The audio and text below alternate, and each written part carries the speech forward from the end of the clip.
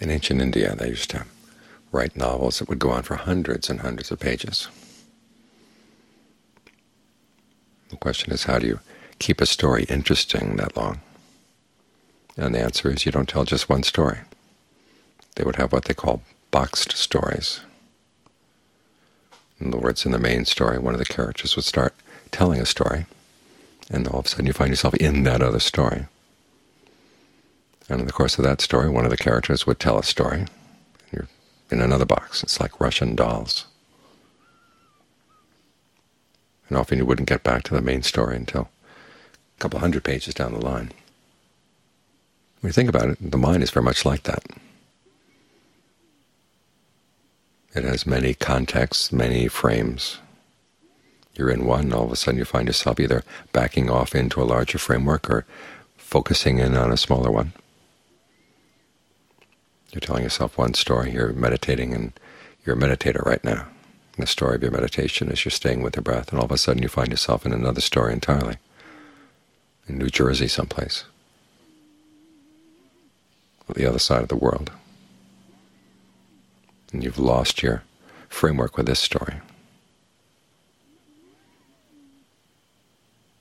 It's frustrating, but we can learn how to turn that to our advantage. This is one of the reasons why we practice mindfulness. Instead of getting lost in the labyrinth, mindfulness is like the, the string. You know the story about the man who went into the labyrinth with the Minotaur and was able to get out because he carried a ball of string that enabled him to get out of the maze.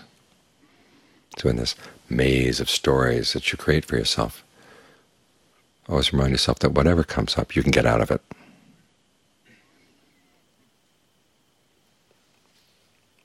So if you're meditating along and suddenly find yourself someplace else, just back up a bit and get back to the breath, get back to your framework. The Buddha gives four frameworks, but they all connect with the breath. The Buddha himself makes this point.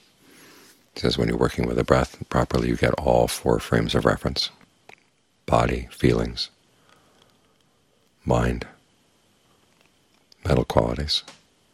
They're all connected to the breath because, after all, they're all right here. When you're with the breath, the fact that you're attentive to the breath and alert to the breath creates a feeling of pleasure. When you're with the breath, okay, you're mindful. The mind is getting a little bit more steady. That's a quality of the mind. And there are the mental qualities of equanimity or concentration or whatever good mental qualities you're working on. They're all right here. And Ajaan Lee makes the same point as well. You want them all to be right present here. It's simply that one framework takes precedence, and you see all the other ones in relationship to that. Like when you breathe in a certain way, a certain pleasant feeling comes up, well, ask yourself, how is that related to the, to the breath? That gets you back to the breath as your main frame of reference or there's a mental state of clarity or lack of clarity. Well, how does that relate to the breath? This way keep things all connected in one space. But then you find yourself someplace else, in another box. The mindfulness is the string that reminds you, okay, you're in another box, you get back. Then you find there's another box that starts commenting on what a miserable meditator you are. You can't even stay with the breath for more than five breaths put that in a box and step back from it. Remind yourself that the mind takes time. It's a complex phenomenon. It's not going to just do what it's told right away. You have to use sensitivity, you have to use patience, you have to use persistence. So if you find yourself in a bad box, always remember there's a better box. You can take yourself out of that.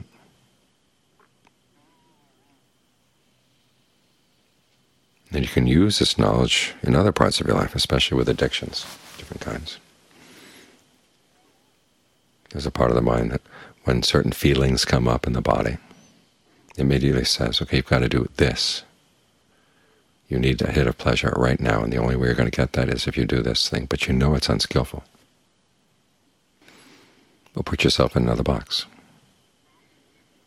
question those voices. And remind yourself that the mind goes for a physical pleasure because there's pain in the sense of what's called form, i.e. the way you sense the body from within. Often when you're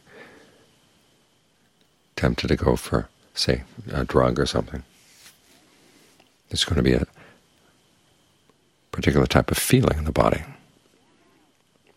And the mind immediately interprets it in one way. Well, pull away from that interpretation, ask yourself, what is the feeling right now? Where is there the tightness or the tension or the sense of lack? And you can breathe. Can you breathe in a way that compensates for that? You might say, oh, you have to gain a whole state of jhana before you can do that. Well, you don't.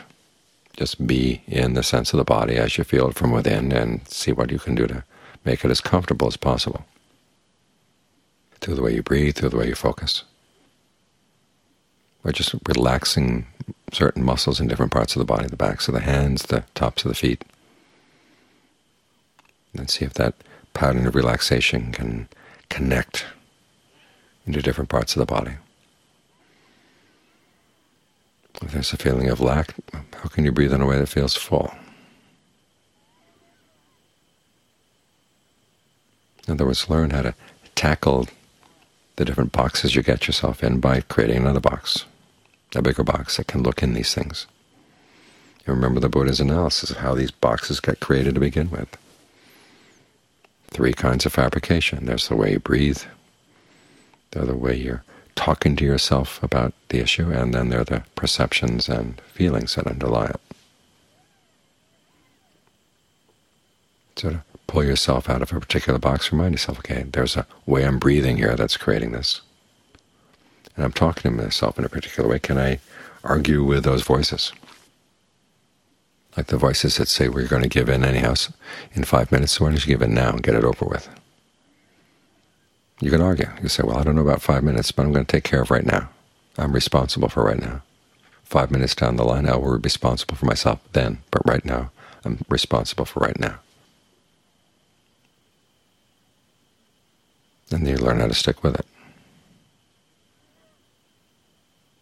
In other words, you learn how to argue with the voices. Don't immediately give in.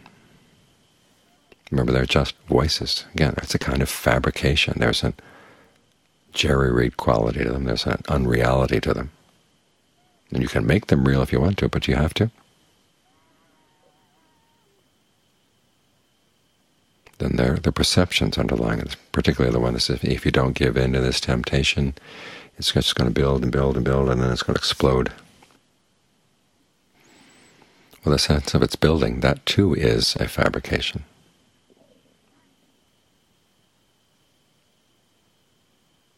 Learn how to question it.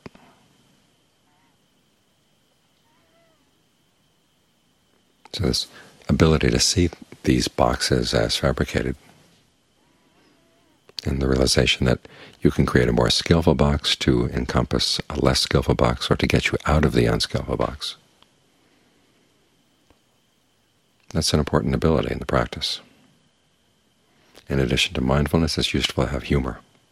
You can laugh at some of the dialogues or monologues that go on inside some of the boxes.